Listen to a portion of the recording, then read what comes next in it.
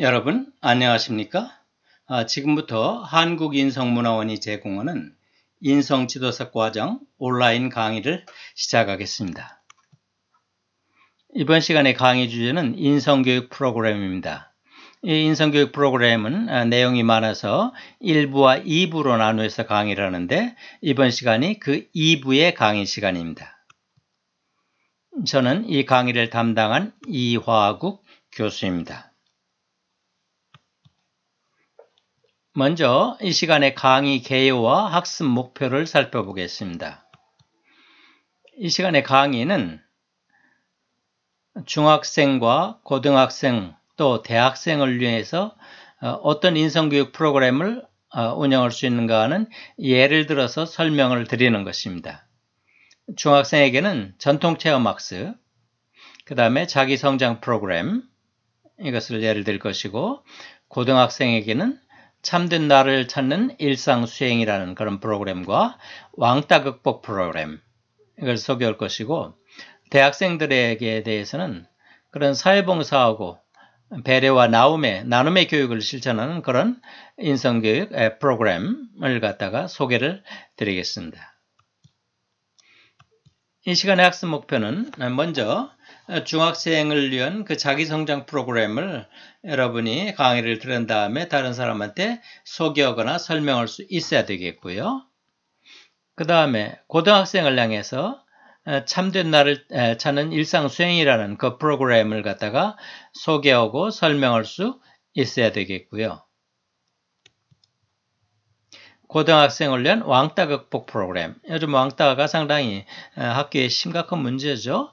이런 극복 프로그램을 잘 설명하고 소개할 수 있어야 되겠습니다.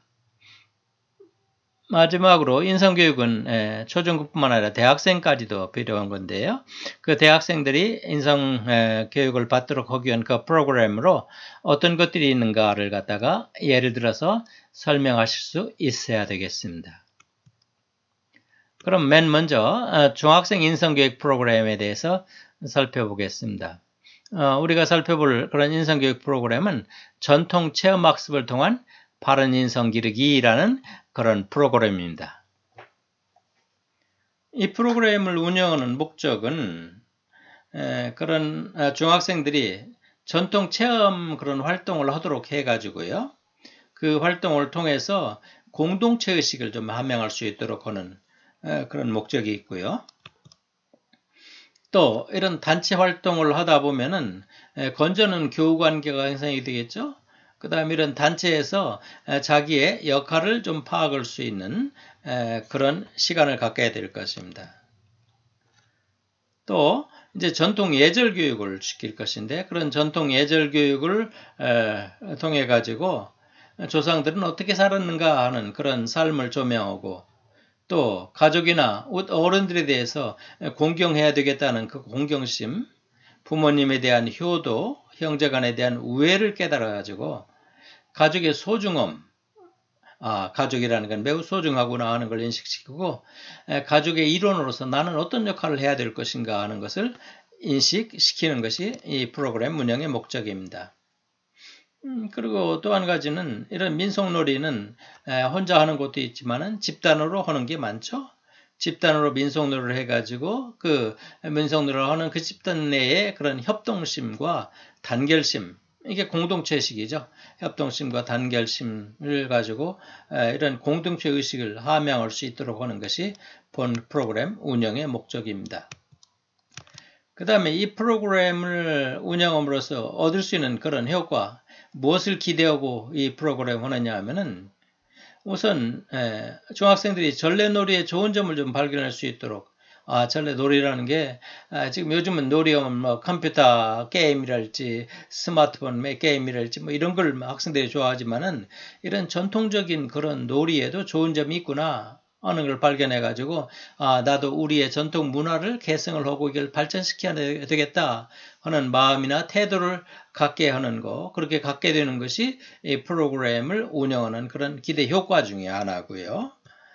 그 다음에 또 윷놀이 같은 거 해보면 어, 해보면 재미있죠. 어, 처음에는 뭐 어, 학생들이 안 들어도 일단 하다 보면은 재미가 있는데 이건 여가 선용으로도 좋지만은 그 여가 선용을 하면서 어, 우애를 하고 화목을 하고 어, 친구들 간에 형제 간에 자매 간에 이렇게 우애와 화목을 어, 도모해 가면서 여가를 선용할 수 있다는 것을 기대를 하는 것이고 그 다음에 아, 우리 조상들이 이런 전통 문화 놀이를, 놀이 문화를 했구나 하는 것에 대해서 한번 생각해 볼 예, 기회를 갖다 제공하자 하는 것이 이 프로그램에서 기대하는 것이고요.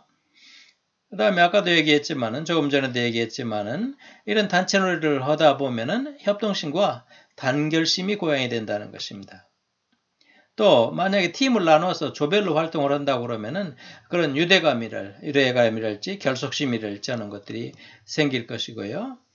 그 다음에 음식과 관련된 그런 전통 어, 체험 학습을 하면서 아, 우리들의 조상들은 어, 이런 음식을 이렇게 만들어서 이렇게 먹었구나 하는 것을 발견할 뿐만 아니라 그런 음식을 들으면서 이런 예절을 갖춰서 들었구나 하는 그런 식생활 예절에 대해서 익힐 수가 있고 그 다음에 조원 간의 그런 협동심, 단합심 기를 수 있다고 그랬죠. 그 다음에 이렇게 음식을 어, 만들다 보니까 아 이거 간단한 줄 알았더니 굉장히 힘들구나. 부모님은 나를 위해서 이걸 매일 이렇게 음식을 만들어 주셨구나 하는 것에 대해서 그 수고로움을 깨닫고 은혜에 대해서 보답하는 태도를 길러줄, 길러줄 수 있을 거 아닌가 하는 그런 기대를 하는 것이고요. 그 다음에 이렇게 힘들게 만드는 좋은 음식들을 갖다가 편식하지 말고 골고루 먹도록 하는 그런 습관을 길러주는 것이 이 프로그램에서 기대하는 효과 중에 하나입니다. 그 다음에 이 프로그램을 운영할 때는 이렇게 운영을 하라는 것입니다. 우선 전통 서당 방식으로 이렇게 운영을 해보고요. 왜 그러냐면 그런 것이 교육의 효과를 향상시킬 수가 있습니다. 그냥 강의실에서 강의하는 것보다도 전통 서당 방식을 통해서 교육을 하면 교육의 효과가 향상이 될 수도 있고 그 다음에 애선인들은 어떻게 이런 민속 놀이 같은 것을 하면서 전통을 하면서 그런 체험을 하는 과정에 우리 조상들은 어떻게 행동 고지를 했구나 하는 것을 학습을 시켜가지고 어, 우리 조상들은 다 진중한 그런 어, 사고를 하고 올바른 가치관을 갖고 그런 행동을 했구나 하는 것을 배워서 자기 자신도 그런 진중한 사고를 하고 올바른 가치관을 형성할 수 있도록 선배들의 선조들의 그런 모습을 보고 그것을 배울 수 있도록 그렇게 운영을 할 필요가 있고요. 그 다음에 민속놀이, 뭐 윷놀이, 제기, 제기차기, 그레타기, 뭐 덜뛰기, 뭐 이런 다양한 민속놀이가 있죠. 이런 민속놀이 할 때는 이제 편을 짜서 하기도 하지 않습니까? 그 다음에 같이, 둘이 같이 하기도 하고요. 널뛰기도 둘이 같이 해야 되죠? 에, 그런 이렇게 같이 할 때 서로 에, 마음을 합쳐야 아, 널뛰기를 잘할 수 있으니까요. 이런 단합심을 길러줄 수 있도록 하고, 그 다음에 이제 직접 자기가 음식을 만들고 먹고 설거지를 직접 해 보도록 함으로써 그 식자 예절이랄지 그 다음에 음식을 만드는 것에 대한 어려움이랄지 하는 것을 깨닫도록 그렇게 해주고 어, 전통 예절 교육을 시켜가지고 그런 예절 교육을 통해서 올바른 인사 예절 그 다음에 어른에 대한 공경심을 갖다가 기를 수 있도록 해주고 그 다음에 전통 예절 중에서 언어 교육, 언어 교육을 통해서 어, 자기가 일상적, 일상적인 생활에 쓰고 있는 그런 언어 가운데 잘못된 거, 예를 들어서 친척 관계에서 당숙이 무엇이고 매제가 무엇이고 그런 것도 몰랐는데 그런 그 언어를 제대로 쓸 수 있도록 해주는 것 이런 것이 하나의 이 프로그램을 운영하는 방침이고요. 그 다음에 그 프로그램 내용 중에 이제 부모님께 효도 편지를 쓰는 게 있습니다. 그 다음에 가족 간에서 내 소감을 발표해보라 하는 그런 내용도 있습니다. 그러면 이런 어, 활동 내용을 통해서 가족의 소중함을 그렇게 인식시키는 것, 그것이 이 프로그램을 운영하는 그런 방침이라고 생각할 수 있습니다. 그 다음에 중학생 인성교육 프로그램으로 자기성장 프로그램이라는 게 있습니다. 자기성장 프로그램. 우선 이 프로그램의 목적은 어, 21세기가 정부화 사회, 국제화 사회라고 그러죠. 그새 그 사회는 지금 앞으로 20년, 30년 후에 10년, 20년, 30년 후에 이 중학생들이 사회의 주체로서 어, 살아나갈 것인데 이런 학생들한테 자기 자신의 문제와 느낌을 서로 나누고 탐색할 수 있도록 그렇게 도와주어서 음.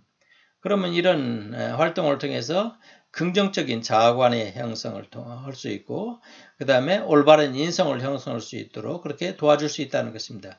즉 자기가 성장할 수 있는 그런 프로그램이 이 프로그램이라는 것입니다. 이 프로그램을 자기가 성장할 수 있는 자기 성장 프로그램은 어떻게 구해야 되느냐면은 우선 자기 자신과 타인을 신뢰하는 방법을 습득할 수 있도록 해야 되고요. 그 다음에 정서적인 안정감을 찾을 수 있도록 해야 되고 자기 자신을 스스로 탐색하여서 자아를 형성할 수 있도록 해줘야 되고 그 다음에 인간의 따스한 정감을 느낄 수 있도록 할 필요가 있고 그 다음에 어떤 새로운 자아관을 형성하기 위해서 자기를 수용하는 것, 그 다음에 자신감, 또 자긍심을 함양하도록 그렇게 구안을 해줄 필요가 있고 또 타당한 인생 목표와 목표에 대한 올바른 가치를 가질 수 있도록 어, 구안을 해줘야 되겠고 어, 이런 구안할 때 우리가 중요하게 고려해야 될 것은 이런 프로그램이 자기 성장 프로그램이 중학생의 정신적 발달 단계랄지 또는 그 학생들이 가지고 있는 흥미가 무엇인가를 잘 고려해서 어, 구안을 할 필요가 있다는 것입니다.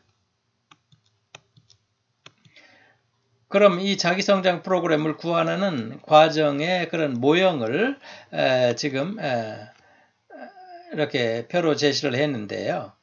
이런 자기성장 프로그램을 만들 때는 계획과 개발과 일반화 단계를 거치라 이렇게 돼 있죠. 우선 계획할 때는 아, 이런 자기 성장 프로그램에서는 어떤 체험을 할 것인가 그 체험 요소별로 어, 떤 방향으로 이걸 갖다가 이제 활동을 시키고 하는 것을 구안을 해야 되고 그 다음에 개발 단계에서는 활동 과정을 작성을 하고 활동 과정.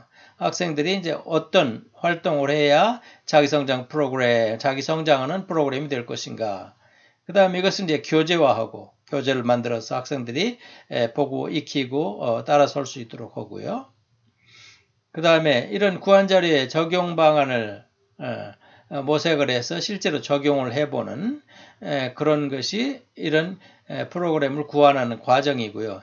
결국 이것은 뭐가 되도록 해야 되느냐 하면은 긍정적인 자아 개념과 올바른 인성 함양을 할 수 있는 그런 프로그램이 돼야 중학생 인성교육에 적합한 자기성장 프로그램이 된다는 것입니다.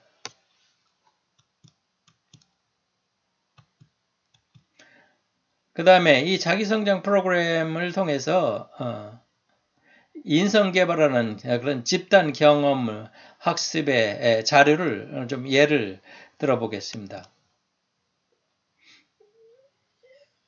이제 교재에 보면 몇 가지 더 예가 많이 있습니다만 여기서는 우선 마음의 문을 열어요. 나는 이런 사람입니다. 하는 그런 자기성장 프로그램을 좀 소개를 하겠습니다.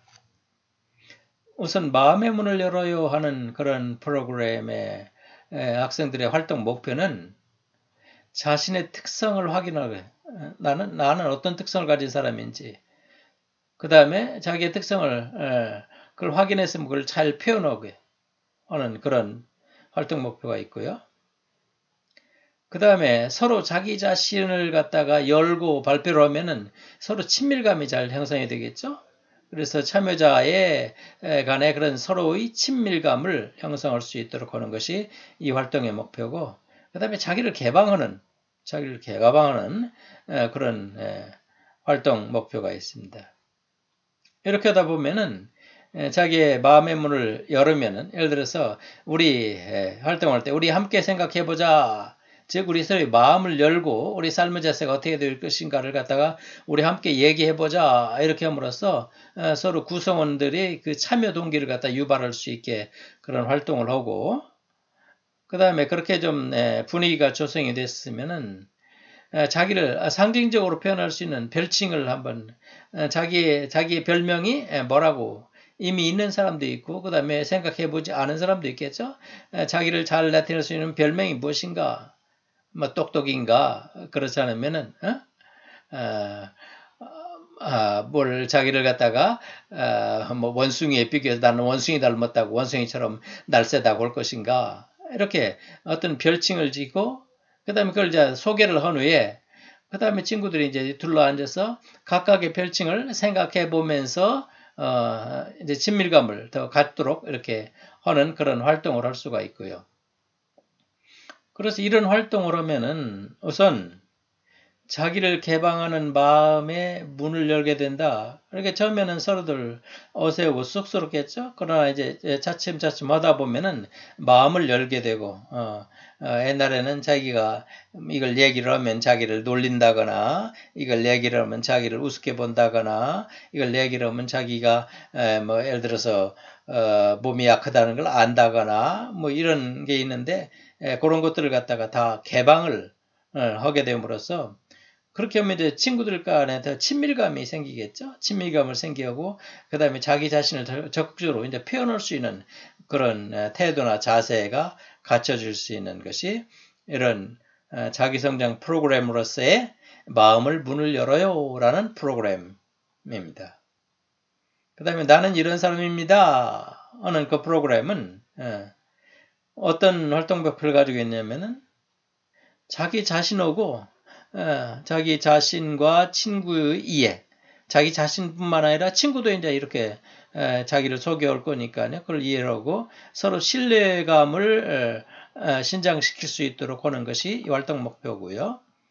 그럼 이 활동은 어떻게 하느냐면은 내가 원하는 것, 내가 뭘 원하지? 내가 좋아하는 게 뭐지? 싫어하는 게 뭐지? 내가 행복해지려면 어떻게 해야지? 이런 것을 가급적 빨리 솔직하게 기록한다. 왜 그러냐면은 그것을 생각으로 기록하면은 내가 원하는 게 뭐지 하고 그냥 뭐 꼼꼼하게 이것저것 비교해 가면서 하면은 내가 원하는 것이 이것이라고 하면 애들이 웃지는 않을까? 어? 그 다음에 내가 원하는 것이 이거라고 그러면은, 어, 이건 뭐, 에, 에, 달성이 되도 않는 것을 얼토당토하는 걸 썼다고 그럴까? 이렇게 생각이 깊어지면은 솔직한 그런 표현이 안 나오기 때문에 생각나는 대로 즉각 즉각 솔직하게 기록하라는 것이고요. 그렇게 기록을 했으면은 이제 친구들끼리 둘러앉아서 각자 돌아가면서 순서 없이 발표를 하도록 한다는 것입니다. 그럼 이런 자기성장 프로그램, 나는 이런 사람입니다. 하는 자기성장 프로그램은 어떤 기대가 되느냐, 뭐, 그 프로그램을 통해서 뭘 기대하느냐면은 우선 자기 자신에 대해서 한번 생각하게 한다. 가만있어 내가 좋아하는 것? 내가 그걸 생각해 본 적이 별로 없는데 내가 행복해지려면 내가 어떻게 돼야 되는가? 좋은 대학을 가야 되는가? 돈을 벌어야 되는가? 명예를 얻어야 되는가? 건강해져야 되는가? 그렇다면 예, 마음을 비워야 되는가? 어? 그래서 자기 자신에 대해서 한번 생각해 볼 수 있는 그런 기회가 주어지는 것이고요. 예, 그렇게 하면 이제 자기 이해가 되고 어, 자기 이해를 해서 자기를 수용하고 자기 개방할 수 있는 그런 효과를 어, 기대할 수 있다 하는 것이 나는 이런 사람입니다 하는 그런 프로그램의 기대 효과라는 것입니다. 음, 그럼 이상으로 중학교 학생들의 프로그램을 마치고 고등학교 학생들을 위한 인성교육 프로그램을 두 가지를 소개하겠습니다. 그 중에 하나가 참된 나를 찾는 일상수행이라는 그런 프로그램입니다. 이 프로그램의 내용은 어, 자기가 어떤 상황에 처했을 때 어떻게 행동을 하는 게 좋다고는 그런 수칙을 30가지를 정한 것인데요. 그런 상황을 세 가지로 넣습니다.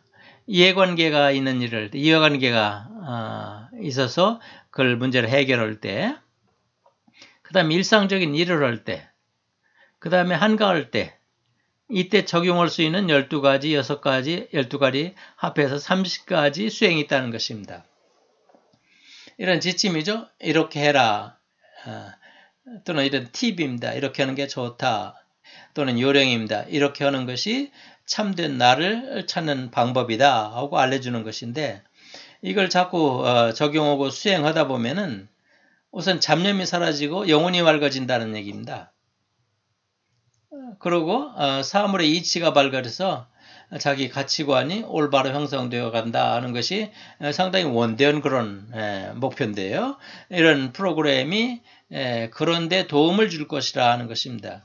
어, 주컨이 이걸 살펴보면 어떤 것은 뭐 그럴 것 같고 어떤 것은 어, 이해가 좀 확실하게 안 되는 것도 있고 그렇습니다만은 여하튼 여기에서 어, 이 프로그램을 만든 사람들이 제시한 그런 일생, 일상생활에서 수행해야 될 그런 수칙들에 대해서 좀 한번 검토를 해보겠습니다. 이거 운영할 때는 이런 식으로 운영을 하라는 것입니다. 우선 그 20개 중에서 음, 매일 그서 아니 30개 중에서 매일 30개를 다 뭐 할 수 있는 것이 아니고요.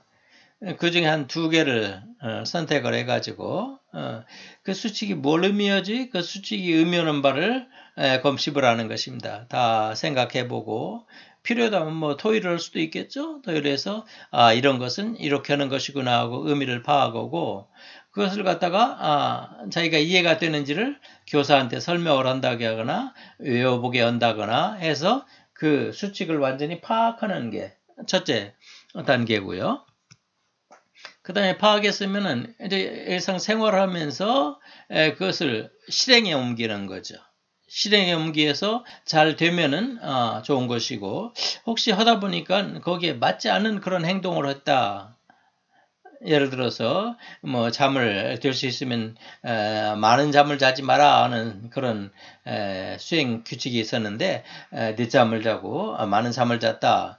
그러면 그것에 대해서 자 이거 그렇게 잠만 많이 자는 게 좋지 않다고 그랬는데 왜 그렇게 잠을 자게 됐는가 하는 것을 다시 상기시키고 그것을 다시 학습을 해서 어, 쓸데없이 많은 잠을 자는 것은 인생을 낭비하는 것이다 이렇게 다시 학습할 수 있도록 해준다는 것이고요.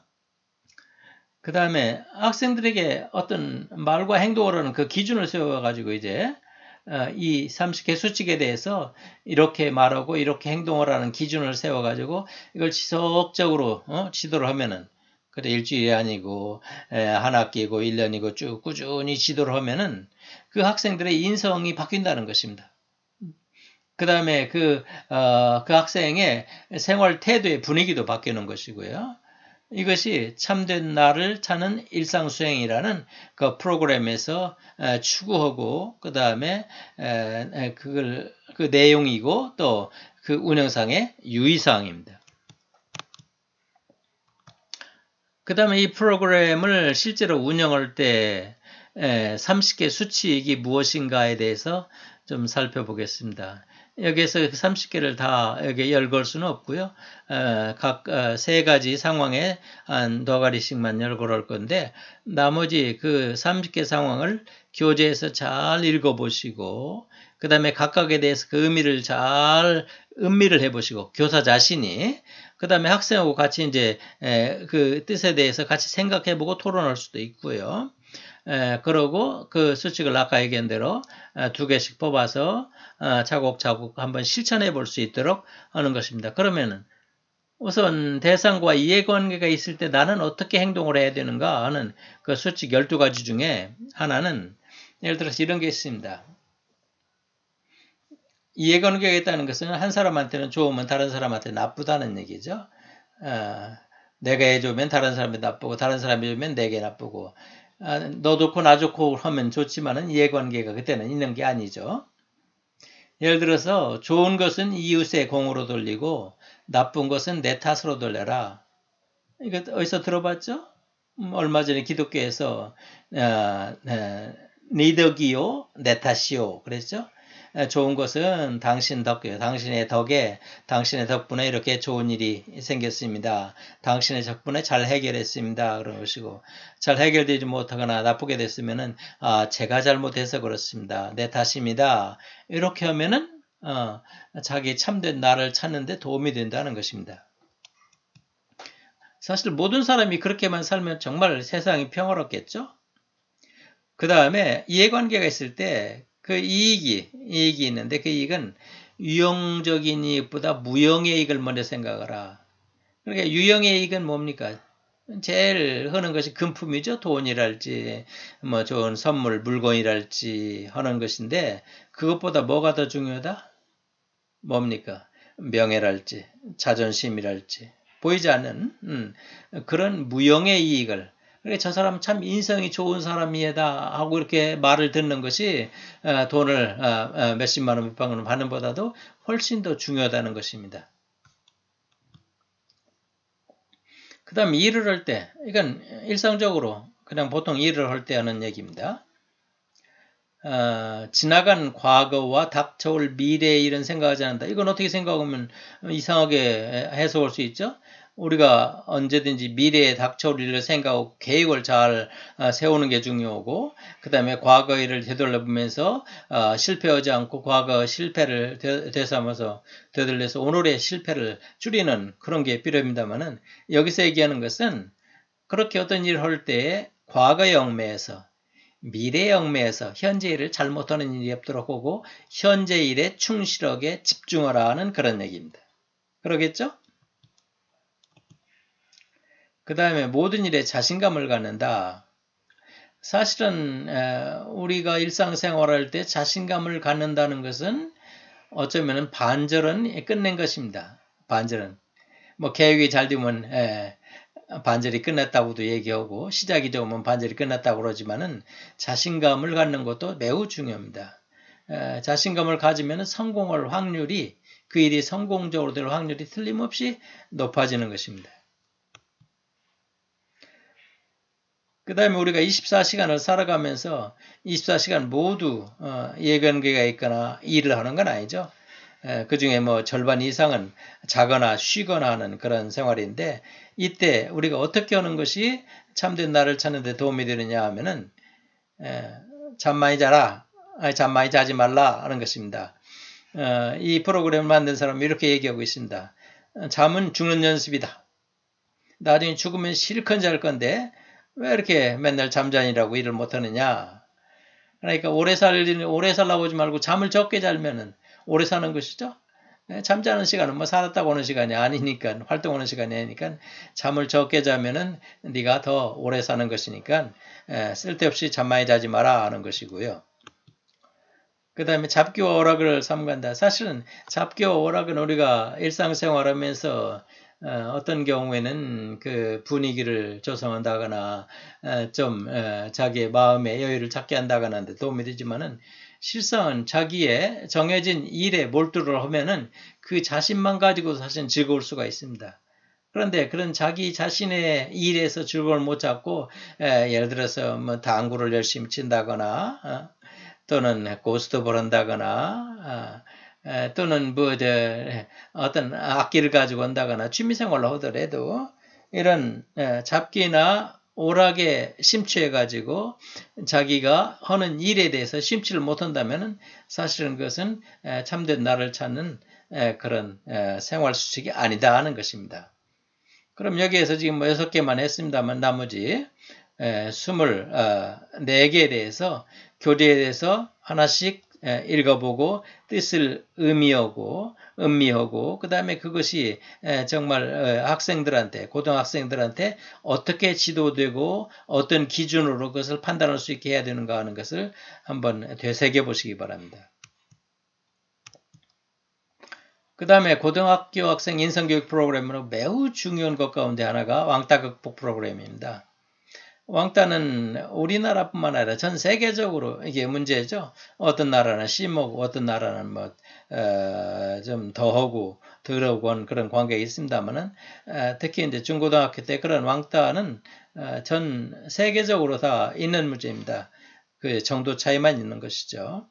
그럼 이 왕따를 극복을 어떻게 할 것인가 하는 건 책으로 한 권을 내도 어, 모자랄 지경입니다만은 우리가 이번 시간에 살펴본 것은 그 중요한 것, 어, 일반화되고 가장 보편적인 것을 갖다가 한번 검토를 해보자는 것입니다.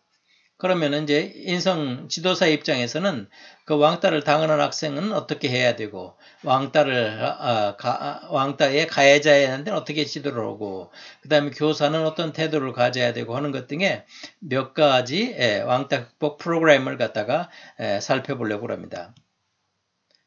첫째는 어떤 청소년이 어떤 학생이 왕따를 당한다고 그러면 그 당하는 학생이 어떻게 해야 그 왕따 당하는 것을 좀 극복을 할 수가 있겠는가 하는 것에 대한 그런 지침입니다. 그러니까 이걸 지침은 그 왕따 당하는 학생이 이것을 깨달을 수 있도록 그렇게 해줘야 되겠죠. 첫째는 자기가 왕따를 당한다고 그러면은 자신의 언행을 잘 되돌아보고 예, 왜 내가 왕따를 당했지 하는 그 원인을 잘 찾아보라는 것입니다. 그러니까 이런 왕따는 대인관계에 생기는 거기 때문에 대인관계에서 내가 한 말이 내가 하는 행동이 다른 사람한테 기분 나쁘게 또는 바람직하지 못하게 그럼 인식이 됐다고 그러면은 그 사람들이 나를 어, 어떤 경우는 그냥 네, 그런가 보다 하고 잊어버릴 수도 있고 넘어갈 수도 있고 그렇지만 그 사람들이 그걸 마음에 새기고 어, 어, 나를 왕따를 시킬 수가 있는 것입니다. 그러니까 내 원행 때문에 내가 지난번 수업을 할 때 너무나 잘난 체를 했나 지난번 수업을 할 때 쓸데없이 다른 사람을 비난했나 이런 것들을 좀 생각해 보면서 예, 그것 때문에 이건 왕따가 돼, 돼 있지 않는가 그 원인을 파악한다고 그러면은 확실히 그걸 해결할 수 있는 방안도 찾기가 쉽겠죠. 그 다음에 곰곰이 생각해 봐도 제가 또는 쟤들이 나한테 왜 이렇게 하는가를 잘 모르겠다. 어. 에, 그러면은 그냥 뭐 그 꽁꽁 앓고만 있지 말고 어, 그 중에 좀 그래도 가까운 애들한테 애한테 야 너들 왜 나한테 왜, 왜 그러는데 어? 내가 뭘 잘못해서 그래 뭐가 마음에 안 들어서 그래 에, 이렇게 한번 좀 물어봐 달라 물어보라는 얘기입니다. 그냥 꽁꽁 속으로만 앓고 있지 말고 그렇게 물어봤더니 아 너 지난 시간에 어떤 체육 시간에 뭘 어떻게 했잖아 아 내가 그것을 잘 몰랐는데 나도 모르게 실수한 거구나. 그러면 이제 그걸 진정으로 어, 자기를 왕따시키는 학생들한테 야 내가 지난 시간에 이거 참잘 어, 모르고 이런 실수를 했는데 아, 이걸 사과를 한다고 아, 진정으로 사과를 하고 어, 좀 한통 내거나 이렇게 해서 그 왕따 당하는 원인을 제거함으로써 그 왕따 문제를 해석이 해결 해석할 수 있도록 해결할 수 있도록 그렇게 하는 방법이 있고요. 그 다음에 이제 친구들이 왕따를 시키면서 놀리거나 대개 제일 문제가 놀리는 것이죠. 여학생들이 뭐 말로 놀리거나 그 다음에 어떤 때 행동으로 음, 가는 학생을 밀거나 발을 걸거나 하는 행동을 할 수도 있고요. 그러면은 어, 내가 울거나 화를 내지 말아라 될 수 있으면 힘든 일이죠. 여학생들은 우는 경우가 많겠죠. 남학생은 화를 내는 경우가 많지만은 예, 그렇게 하지 말고 그냥 예, 아무 일이 없는 것처럼 그냥 웃으면서 상냥하게 이렇게 대하면은 왕따 시키는 학생들도 아, 내가 쟤도 왕따를 시키는데도 쟤는 뭐 별로 반응이 없네 하고 좀 시들을 수도 있는 겁니다. 그 다음에 따돌리는 친구들한테 예, 편지를 쓰거나 SNS 요즘은 뭐 호출기보다 SNS 스마트폰 같은 게 문자 같은 걸 보내거나 해가지고 야 너들 그렇게 하니까 나 참 살기 힘들다 고통스럽다 어렵다 하고 자기 어려운 걸 자꾸 호소를 해가지고 저 전달을 해줘가지고 에이 이제 뭐 이 정도면 됐다 그만하자 안 될지 에, 이런 방법을 통해서 그 왕따 당하는 상황을 좀 호전시키는 그런 노력을 하라는 거고요. 어, 그런데 이거 뭐 해결이 안 되고 계속 계속 어, 이 친구들이 나를 왕따를 시킨다. 그러면 반 전체가 뭐 다 왕따를 시키지는 않죠. 대개 몇 명이 패거리가 돼가지고 나를 왕따를 시키는데 또 나도 패거리가 있어서 내 패거리가 더 세다 그러면은 왕따 시키는 게 뭐 그렇게 강하지는 않겠죠. 그러나 나 혼자 어떤 패거리들한테 왕따를 당한다고 그러면은 어, 자기도 어, 자기를 좋아하는 친구, 자기와 가까운 그런 친구랄지, 특히 반에서 인기가 있는 애들, 어, 인기가 있는 애들, 짱이랄지, 뭐 또는 뭘 잘해서 인기가 있거나, 공부를 잘해서 인기가 있거나, 어, 또는 뭐 힘이 좋아서 인기가 있거나, 인기가 있는 그런 학생을 좀 자기가 사귀어서, 어, 사귀어서 깨우고 이렇게 가깝게 지내면은, 어, 그런 따돌림을 하던 학생들이 좀 멈칫, 멈칫하겠죠? 그런 방식으로 해서 좀 극복할 수 있도록 이렇게 보고 그 다음에 왕따를 시키는 것은 사실 어떤 집단 내에서 그 언행이 대부분의 다른 사람과 다르기 때문에 그렇습니다. 제일 대표적인 애가 이제 다문화 가정 애가 있다고 그러면 어떤 한 클래스 애들이 거의 다가 다문화 가정이라고 그러면 그 다문화 가정 애가 왕따를 당할 리가 없습니다.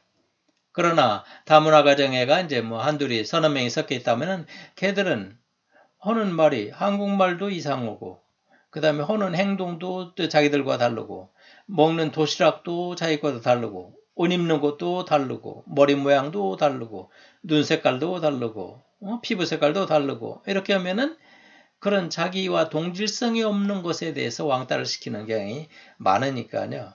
그러니까 친구들 꼭 유사하게 생동을 하고 아 보니까 내가 다문화 가정이라 제일 문제가 말을 한국말을 이상하게 하니까 쟤들이 그러는구나 한다고 그러면은 그 한국문어 한국말을 열심히 배워가지고 그런 약점이나 단점을 보완을 하게 한다고 그러면은 왕따를 시키는 이 적어질 거 아닌가 하는 것입니다. 그 다음에 내가 이렇게 노력을 해봐도 이거 도저히 뭐 잘 안 된다 할 경우에는 어, 주변에 자기 믿을 만한 사람이 누군가 뭐 제일 믿을 만한 사람이 교사나 어, 자기 부모나 그렇지 않으면 선배나 뭐 이런 사람들이겠죠. 그걸 찾아가지고 도움을 요청하는 것이 자신의 왕따를 해소시키는 방법 중에 하나고요. 그 다음에 왕따를 시키면 아, 포기하고 아 나는 뭐 다문화 가정 아이니까 뭐 이걸 참고 살아야 돼 하고 자포자기 하지 말고 어, 지금 다문화 가정이라는 그런 이유 때문에 자기가 뭐 잘못한 것이 없는데 그런 이유 때문에 당한다고 그러면은 어, 특히 이제 자기보다도 그 다른 다문화 가정 애가 문제가 돼가지고 걔 때문에 다문화 가정 애들이 그냥 다 같이 묶여가지고 그런 왕따를 당한다고 그러면 언젠가는 그게 좀 풀어질 가능성도 있으니까 자포자기 하지 말고 이걸 문제를 해결할 수 있다고 자신감을 가지고 계속 노력을 해나가라는 것입니다. 그 다음에 왕따 극복 프로그램 두 번째 것은 왕따를 당하는 그런 학생을 갖다 지도할 때에 누가 하겠습니까? 교사가 하겠죠? 또는 부모가 하겠죠? 또는 선배가 하겠죠? 어, 이런 사람들, 목사님이 할 수도 있고, 카운슬러가 할 수도 있고, 이런 사람들이 왕따 피해 학생을 지도할 때 이런 사항들을 유의해서 지도를 해라 하는 것입니다. 우선 따돌림을 당하는 청소년을 비난하지 말고 공개를 줘라. 야, 네가 바보 같으니까 그래. 어? 왜 그러는데? 똘똘하게 해. 이렇게 그냥 비난하지 말고 아, 아 네가 좀 힘들구나. 그러나 이건 뭐 우리가 같이 노력하면 해결할 수 있어. 어, 힘을 내. 이렇게 용기를 주라는 거고요. 그 다음에 당황하지 말라. 특히 이제 부모, 특히 어머니 같은 경우는 자기가 그렇게 심하게 왕따 당한 것을 갑자기 아, 어느 날 알게 되면은 정말 기절하고 싶은 마음이죠. 어, 그리고 아버지 같으면 당장 학교로 쫓아, 쫓아가서 그를 몽둥이로 쳐주고 싶은 생각도 있고, 저 아버지한테 쫓아가서 항의하고 싶은 생각도 있는데, 우선 당황하지 말고 침착하게 행동을 하는 게 첫째이고요. 그 다음에 그 어, 문제를 갖다가 어, 왕따단 학생들한테 그래 내가 네 얘기를 들었는데 우리가 이것을 노력해서 끝까지 해결할 수 있다. 아, 어, 우리 아버지가 해결할 수 있겠구나. 우리 선생님 해결할 수 있겠구나 하는 그 믿음을 심어주라는 것이고요. 그 다음에 어, 주변에 믿을 만한 사람이 누군가 와서 아, 도움을 요청해봐라.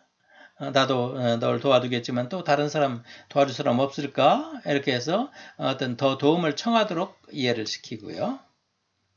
그 다음에 가해자 부모는 예, 가해자 부모는 될 수 있으면 안 만나는 게 안 만날 수 안 만나고 해결할 수 있으면 안 만나는 게 좋고 어, 그러나 불가피하게 이제 만날 경우에는 지금 피해 상황을 정확히 파악해서 가해자가 지금 무엇을 왜 무엇을 어떻게 잘못하고 있다는 것을 정확하게 파악을 해가지고 그걸 확실히 전달해서 가해자 부모한테 이런 일이 없도록 어? 왕따를 당하는 학생들 왕따를 하지 않도록 가해자 부모를 갖다가 설득을 하고 시정을 요구를 한다는 것이고요. 그 다음에 그렇게 할 때 이제 가해자하고 가해자 부모가 아 그 학생을 왕따 시켰다는 그 사실을 인정하고 나 왕따 안 시켰어요. 그냥 뭐 재미로 그냥 해보는 건데요. 너 왕따 안 시켰어요. 실제로 시키고 안 시켰다고 할 수도 있고 걔는 왕따를 시킨다고 생각 않고 어, 그 왕따를 시킬 수도 있는 것이니까요. 아, 그래서 네가 힘들었구나. 그러면 그런 사실을 인정하고 어, 사과를 하도록 야, 너 사과해. 아, 쟤를 너는 뭐 별 생각 없이 했지만 쟤는 힘들고 괴로웠잖아. 그래서 아, 이게 사과를 하도록 하고 에, 필요할 경우에는 이제 각서를 받아가지고 아, 나는 에, 앞으로 이런 일을 않겠다는 것을 받아두라는 것입니다. 이건 나중에 에, 혹시라도 어, 법적 문제가 될 수도 있는 것이니까 법적 문제가 될 때는 이런 사실들이 상당히 도움이 됩니다. 이런 자료들이. 그 다음에 왕따를 당하는 그 학생이 아 너무 힘들어서 아 나 학교 못 다니겠어. 학교를 안 나간다. 등교를 거부한다. 또 아 나 전학 나 전학 가야 되겠어. 이렇게 요구할 경우는 어 그냥 뭐 갑자기 전학 어, 요구하니까 전학을 시킬 수 있는 것도 사실 아니잖아요. 시킨다 할지 어, 하지 말고 그 문제를 해결하려고 노력을 해보고 어, 해결하고 그 다음에 해결이 됐음에도 불구하고 나는 이 학교 못 다니겠다고 그러면 그때는 전학을 고려해보라 하는 것이고요. 그 다음에 일단은 문제는 해결이 됐지만은 그 충격이 청소년기에는 이런 때 받은 그런 심리적인 충격이 상당히 오래 가니까요.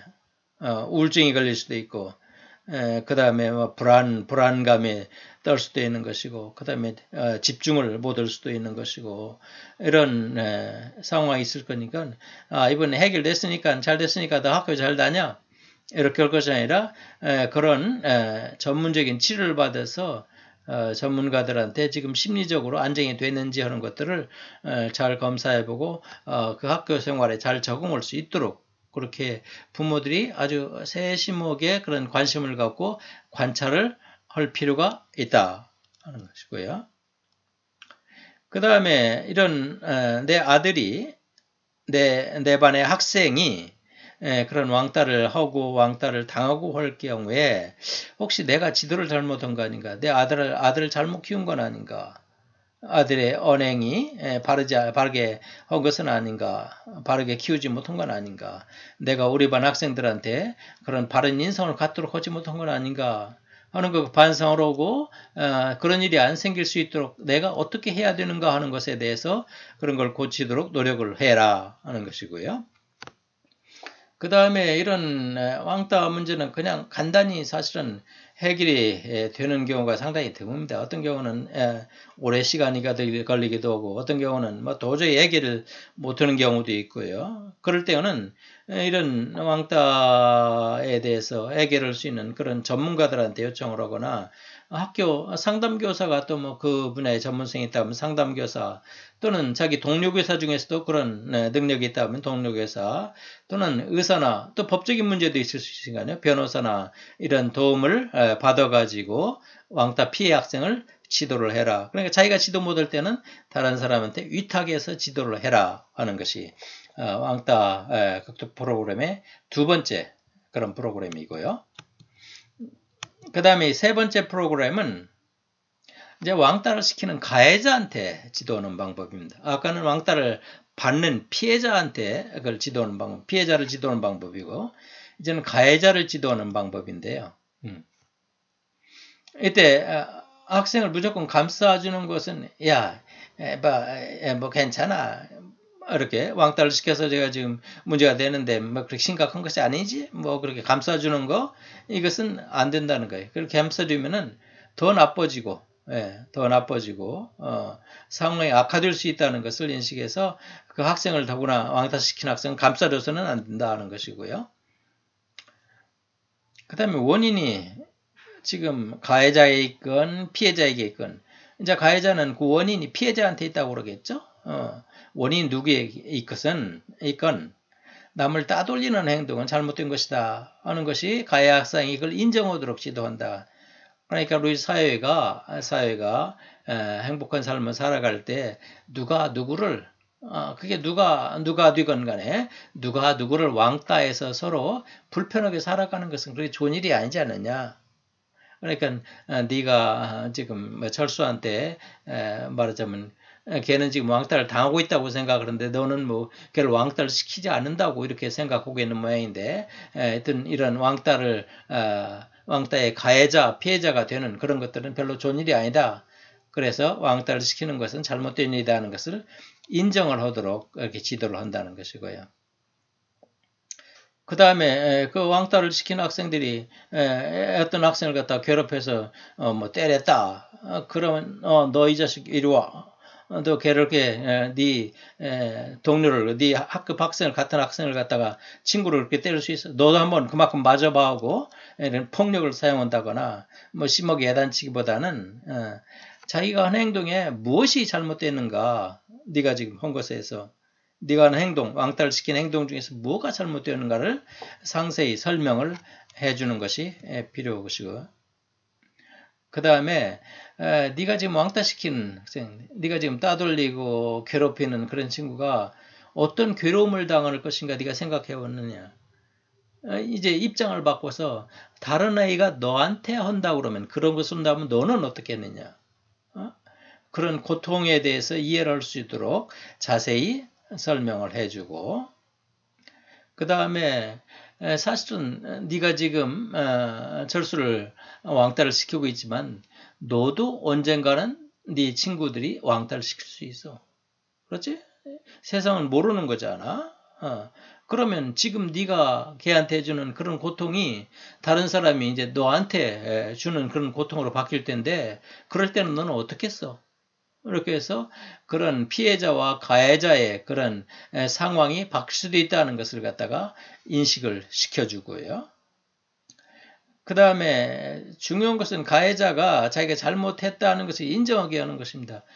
왜냐하면 많은 경우에 그 왕따의 경우에 가해자는 자기는 뭐 지금 왕따 시킨다고 생각을 않고 그래서 재미로 뭐 그랬다거나 재미로 그랬다거나 어, 한 번 그랬다거나 뭐 매일 그러는 게 아니고 이런 여러 가지 변명을 할 수가 있는데 여하튼 그것이 잘못됐다 하는 것을 가해 학생이 인정할 수 있도록 하고 그 다음에 너그 괜히 걔한테 그렇게 한 번 그렇겠지만 걔는 받은 상처가 크니까 걔한테 미안하다고 그래 이렇게 사과를 시키도록 이렇게 한다는 것이고요.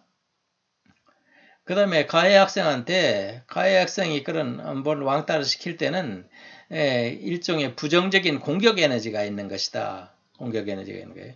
그러니까 그 학생의 부정적인 공격 에너지를 긍정적인 에너지로 전환을 시키는 걔가 지금 예를 들어서 어떤 운동을 통해서 특히 같이 할수 있는 농구를 같이 하게 한다거나 이렇게 같은 운동을 통해서 어, 자기 에너지를 갖다가 좋은데 운동을 쓰는데 운동을 하는데 발산을 한다거나 또는 대인관계 훈련이나 심성훈련 등 이런 상담 프로그램에 한번 참여를 시켜가지고 어, 이런 마음을 바꿀 수 있도록 이렇게 해주는 것이 왕따의 가해 학생을 지도하는 그런 대표적인 방법입니다. 지금 뭐 상황에 따라서 그 다음에 대상에 따라서 시간 장소에 따라서 엄청나게 많은 경우 수가 있겠죠. 그러나 여기서 지금 제시하는 것들은 가장 대표적이고 일반적인 그런 프로그램의 활동 내용, 지침을 얘기를 하는 것입니다. 그 다음에 교사가 그런 왕따 가해 학생을 지도하는데 부모가 지도하는데 도저히 뭐 도저히 학생이 자기 행동에 대해 잘못한 걸 인정하지도 않고 어, 자기가 아무리 해도 이해가 안 된다고 그러고 하면은 그런 전문가한테 예? 상담을 받도록 한다거나 어? 이런 행동 교정, 성교 교정권 프로그램을 하게 한다거나 이렇게 해서 자기가 해결하지 못하는 것은 다른 사람한테 전문가들한테 위탁을 해서 해결할 수 있도록 하는 것이 마지막 단계다. 모든 게 그렇습니다. 교사가 피해 학생을 지도하건 가해 학생을 지도하건 자기의 능력 범위를 벗어난다 할 경우에는 그것을 할 수 있는 다른 사람한테 어, 위탁 해석을 해결할 수 있도록 해야 된다는 것입니다. 이제 왕따 극복 프로그램의 네 번째는 학교에서 이제 교사가 지도하는 방법입니다. 학교에서 이건 구체적으로 학교에서 왕따를 당하는 음, 그런 상황에서 교사가 다 지도겠죠. 가해자, 피해자, 그 학급을 지도하는 걸 것이니까.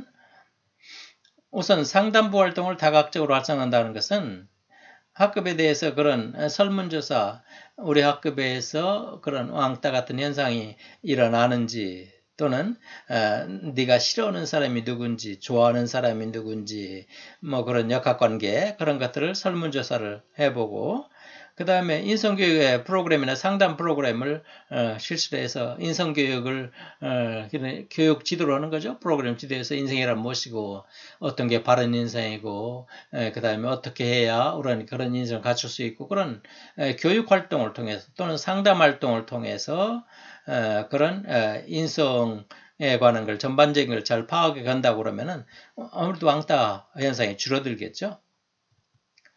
그 다음에 또 하나 생각할 수 있는 또래 상담원입니다. 어, 학급이 있다고 그러면 이제 학급 반장이랄지 영향력 있는 애가 있지 않습니까?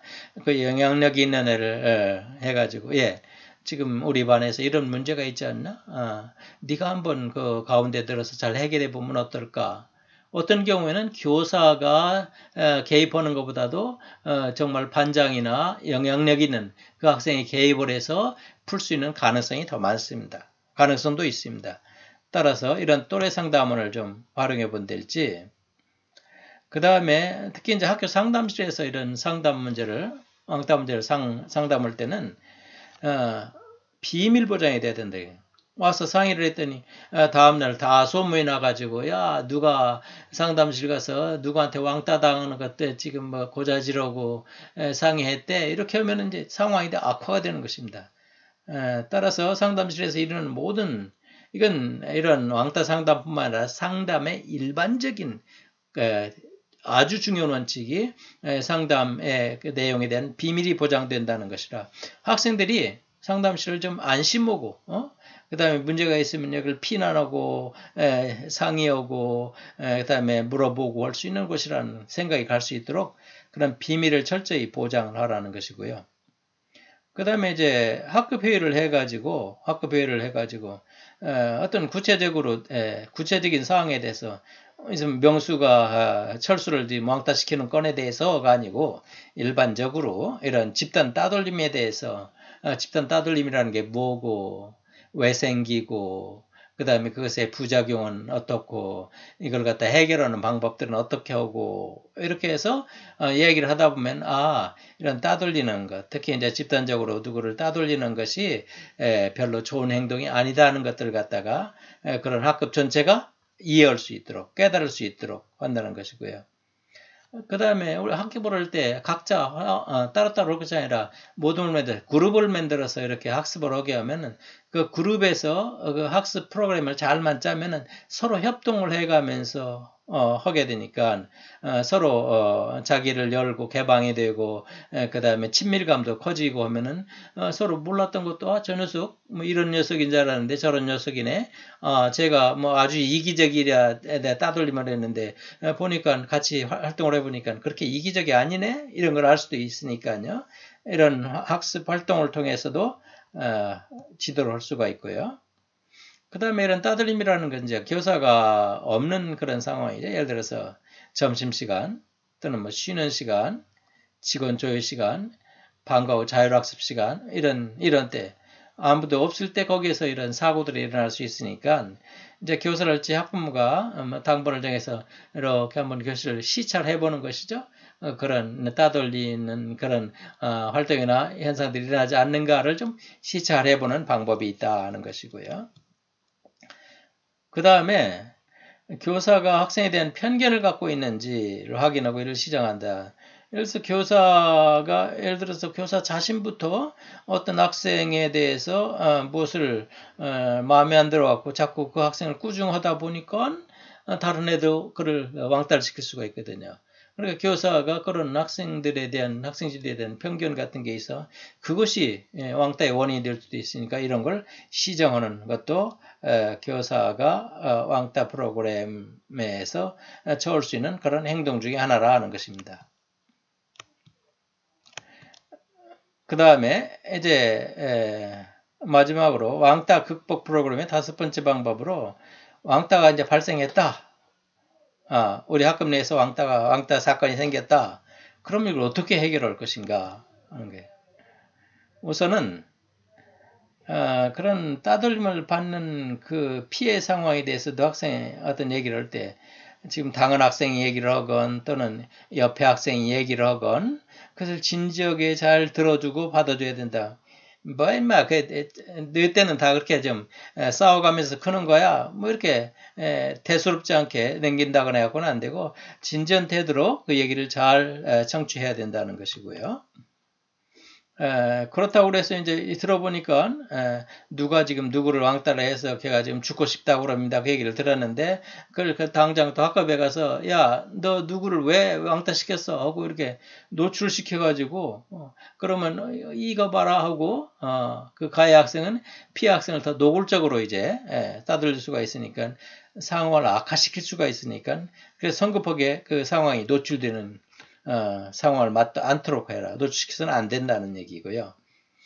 그 다음에 이런 왕따 프로그램 지도할 때 구체적으로 어, 그 왕따를 당하고 있는 학생과 왕따를 당하는 학생, 가해 학생들을 갖다가 지칭을 해가지고 이렇게 해결을 해서는 안 되고 왜냐하면 그걸 노출시키고 그 문제를 해결하려고 해서는 안 되고 이걸 일반화해서 일반적으로 해서 어, 나는 우리 반 내에서 이런 왕따 사건이 일어나는 것을 절대 나는 용납할 수 없다.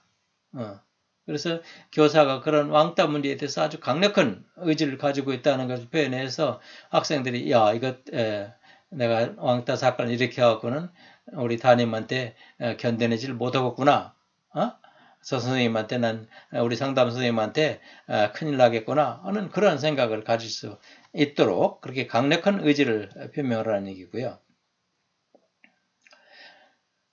그 다음에 이제 가해 학생이 어, 그냥 얘기를 했음에도 불구하고 어, 그 행동을 교정하지 않고 계속 따돌림을 할 경우에는 어, 그 가해 학생이 왜 자기의 지금 가해하는 그 사항이 예, 왜 나쁘고 무엇이 문제인가를 이해할 수 있도록 설명을 해야 된다는 것이고요. 너 이건 어, 나쁜 일이고 이건 옳지 않은 일이고 하는 것을 분명히 설명을 하고 그에 적절한 그에 따른 보상 너는 이것 때문에 우리 학급에서 커다란 문제를 일으켰기 때문에 어 무슨 뭐 예를 들어서 반성문을 쓰게 한달지 공개 사과를 하게 한달지 아, 심을 경우에는 뭐 학병 소환을 하게 한달지 정학을 시킨달지 예. 아주 악질적인 것 같으면 너는 뭐 어, 전학을 시키거나 퇴학을 시킨달지 이렇게 어떤 적절한 벌을 주어서 아, 다른 학생들이 아 이거 따돌림했다가는 큰일 나갔구나 하는 생각을 가질, 수 있도록 그렇게 해결을 해야 된다는 것이고요. 그 다음에 피해자 부모가 아, 상담 요청을 할 수가 있죠. 아, 우리 아들이 지금 우리 딸이 이런 따돌림 때문에 어려움을 당는데 어떻게 했습니까? 하고 이제 학, 담임 선생님한테 주로 상담 선생이나 담임 선생님한테 와서 상의를 하게 됐죠. 예, 그때는 예, 아까 얘기한 것처럼 뭐 아이 뭐 심각한 문제 아니에요. 그, 곧 해결될 겁니다. 애들 뭐 다 그러면서 잘하죠. 뭐 이렇게 예, 냉겨서는 안 되고요. 내가 그 왕따를 당한 학생의 부모라고 생각하고 그 입장이 되면 내가 어떻게 될 것인가 해야 그 부모가 얘기하는 것에 대한 완전한 이해가 되고 또 바람직한 해결책이 나온다는 것입니다. 그 다음에 예, 이런 사건이 발생하면 우선 상황을 잘 제대로 파악하고 내용을 제대로 파악하고 확인하는 게 중요하고요. 그냥 어떤 예, 반장이 와서는 얘기를 듣고 그걸 그렇구나 이해를 한다거나 피해자 얘기만 듣고 어, 또는 가해자 얘기만 듣고 뭐 이렇게 하는 것이 아니고 그런 전체 상황을 다 잘 파악을 해야 됩니다. 음. 그리고 이제 파악을 한 다음에 그럼 가해 학생을 또 상담을 하고 그 다음에 가해자 부모 어, 그래서 가해자 부모한테 지금 예, 얘가 이런 네, 왕따 시키는 행동을 해서 문제가 됐다 하고 이렇게 예, 확인을 시키고 해서 사과를 하게 하고 그 학생은 아, 그것이 잘못됐다 하는 걸 반성을 하게 하고 이렇게 대처를 하라는 거고요. 그 다음에 가해 학생의 가정을 반드시 방문하여 교사의 관심을 보여준다는 것은 가해 학생 집을 방문해 가지고 자 네가 이런 문제 때문에 내가 너희 집을 일부러 방문할 정도로 나는 이 왕따 문제에 대해서 아주 깊은 관심을 갖고 이걸 해결하려고 한다는 그 관심을 보여주면은 아 우리 담임 선생님은 이런 왕따 문제에 대해서 아주 질색을 하는구나 우리 상담생은 왕따 문제를 철저히 해결하려고 하는구나 해서 그 왕따의 문제가 좀 해결될 수 있다는 것이고요. 그 다음에 가해자가 좋아하는 선배 교사 결혼을 시켜서 그 가해자를 지도할 수 있도록 하고 어, 네, 네 선배하고 좀 상의를 해봐라. 그러면 선배가 또 야 나도 학교 다닐 때 그런 어떤 어, 일이 있어서 어, 이런 때는 이렇게 했는데 이게 좋고 저런 때는 저렇게 해서 이게 문제고 해서 선배들한테 지도를 받을 수 있도록 하고요. 그 다음에 아까도 마찬가지였죠. 교사는 언제든지 자기가 최선을 다 해보고 최선을 다해도 해결이 안 되면 전문가한테 요청을 하는 겁니다. 상담사한테 요청하거나 상담교사, 동료 교사 중에 그걸 잘하는 사람, 어떤은 뭐 경찰이나 변호사 같은데 도움을 받을 수도 있는 것이죠. 그래서 전문가한테 도움을 시켜서 왕따 발생의 그 상황을 해결하고 문제를 해결하라는 것입니다. 그럼 이상으로 고등학교 학생을 어, 위한 그런 인성교육 프로그램의 사례를 마치고 대학생의 대학생의 인성교육을 시키시는 그 프로그램의 사례를 좀 살펴보겠습니다. 이것은 어떤 특정 프로그램보다도 일반적으로 이런 인성교육 프로그램이 어떻게 돼야 되고 어떻게 운영되고 어, 떤 식으로 어, 지원돼야 될 것인가에 대한 그런 식으로 좀 설명을 해드리겠습니다. 이제 초중등학생 창의인성, 이런 뭐 창의인성 주권이 계속 지도를 하죠. 그런데 지도를 해도 어, 그게 잘 안 되기 때문에 인성교육 진흥법을 만들어서 이제 좀 더 정상화 시키려고 합니다만은 그렇게 초등등학교에서 받은 그런 인성교육, 창의인성교육이 대학에 왔으니까 이제는 뭐 어, 대학은 그런 게 에, 인성교육과 상관이 없다고 그렇게 해서는 안 되고 대학에 와서도 그 인성교육 그 에, 프로그램이 유지되고 발전되고 완성될 수 있도록 해야 되는데 대학생에서 할 수 있는 가장 중요한 그런 인성 어, 인성 프로그램 활동은 사회봉사를 하고 참여를 하는 것입니다. 자기가 봉사를 통해서 어, 봉사를 통해서 인성을 어, 다듬는 것이고요. 어려운 곳에 참여를 통해서 뭔가 활동 이런 인성 프로그램에 참여를 통해서 어, 대학생의 인성이 길러질 수 있도록 그렇게 하라는 것입니다. 그렇게 해서 대학생이 그런 인성교육을 어, 인성교육 그 프로그램에 참여를 한다고 그러면은 우선 그 개인 학생이 자기 사회 경험을 축적할 수 있게 되고 그 다음에 가서 공동체 생활의 그 일원으로 활동을 하는 거니까 공동체 의식이 제거가 되고 그 다음에 자기가 가지고 있는 그런 전문성이나 역량이 있겠죠.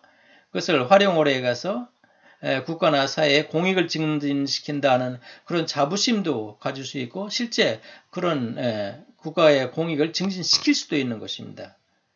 따라서 인성 프로그램은 그냥 개인의 발전뿐만 아니라 그걸 통해서 공동체가 발전할 수 있는 그런 방향으로 어, 실시가 되어야 될 것이고요.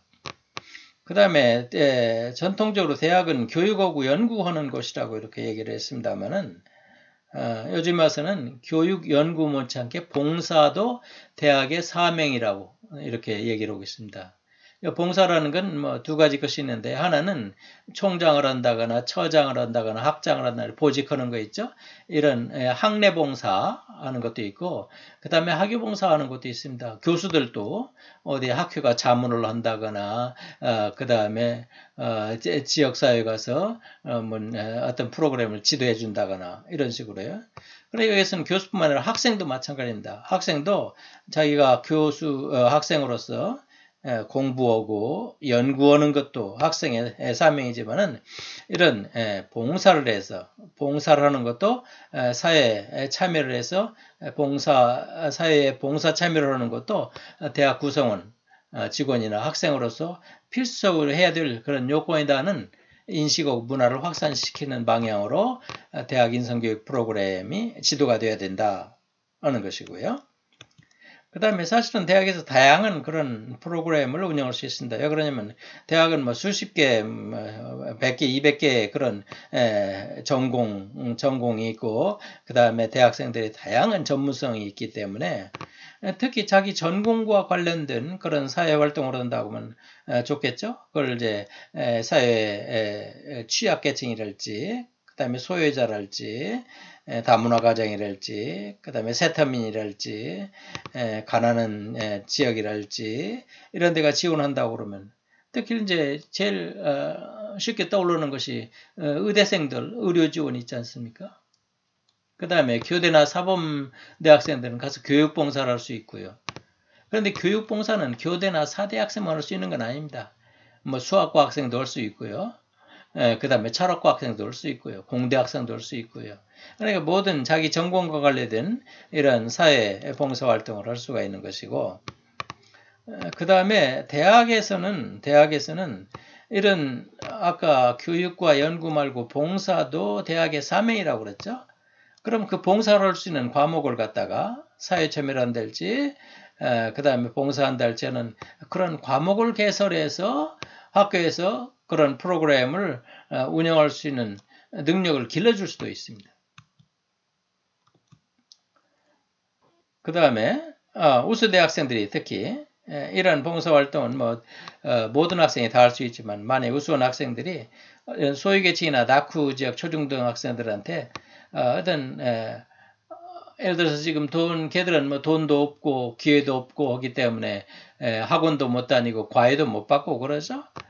그런 학생들을 위해서 교과 활동을 지도해 주거나 또는 교과 활동 말고도 아까 왕따 당하는 그런 프로그램에 대한 것을 지도해 주거나 또는 신체 단련을 해 준다거나 이런 여러 가지 활동을 해 주는데 그 멘토로서 역할을 할 수 있도록 그렇게 하라는 것이고요.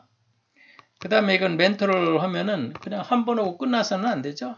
어, 지속적으로 하려고 그러면은 그 멘토링 이력 체제가 구축이 돼야 됩니다. 지난 학기에 에, 우리 선배 누가 가서 어디에 가서 무슨 활동을 했는데 이번 학기도 내가 가서 그래서 이어서 해야 되겠다 하는 그런 연속적인 에, 그런 교육을 받을 수 있는 그 체제를 마련해 줘야 된다는 것이고요. 따라서 어떤 어, 지역의 초등학교에 있으면은 그 지역에 있는 대, 학이 중심이 돼 가지고 이런 멘토링 할 수 있는 그런 교육 과정이랄지 그 다음에 강사 지원이랄지 교육 자료 개발이랄지 하는 것을 적극적으로 지원을 해주라는 얘기입니다.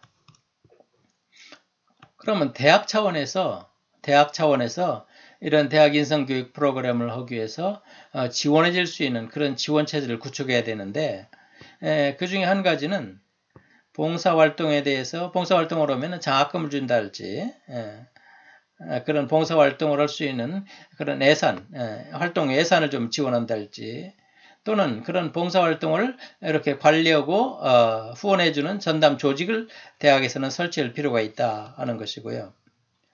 그 다음에 이제 대학을 평가할 때, 대학을 평가할 때 이런 대학생들이 봉사활동을 많이 하면은 그 대학에 좀 더 많은 재정 지원을 해주고 대학에서 좋은 어, 그런 점수를 받을 수 있도록 한다고 그러면은 대학은 어, 열심히 이런 봉사활동을 갖다 지원할 수 있는 어, 체제를 만들겠죠. 학생들이 봉사활동을 할 수 있도록 교육과정도 개설하고 장학금도 주고 그 다음에 그런 서클도 incubating 해주고 서클 시설도 주고 뭐 이렇게 할 거 아닙니까? 그렇게 유도를 한다는 얘기고요.